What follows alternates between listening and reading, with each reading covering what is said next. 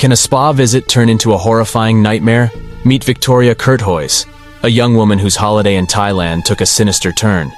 After returning home, she suffered from unexplained fevers and chills for a year. The cause? A fish spa she visited during her trip. You see, Victoria had a previous injury on that toe before, but it was only when she went back for a spa that a new infection went in through old wounds. The spa used Garra rufa fish, also known as doctor fish, which feed on human skin. Contaminated water in the spa transmitted a severe infection called Shewanella into her old wounds.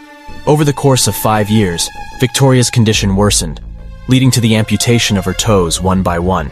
Fish spas pose not only health risks, but also animal cruelty concerns, leading to bans in some regions. Next time, reconsider fish spas, especially if you have wounds or a compromised immune system. Stick to safer foot care methods like using a pumice stone. Join us for more chilling medical stories that will make you think